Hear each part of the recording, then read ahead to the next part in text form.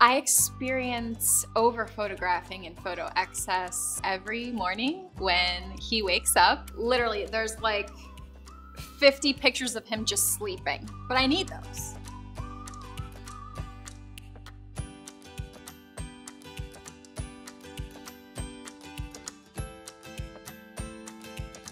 This was so fun and so easy.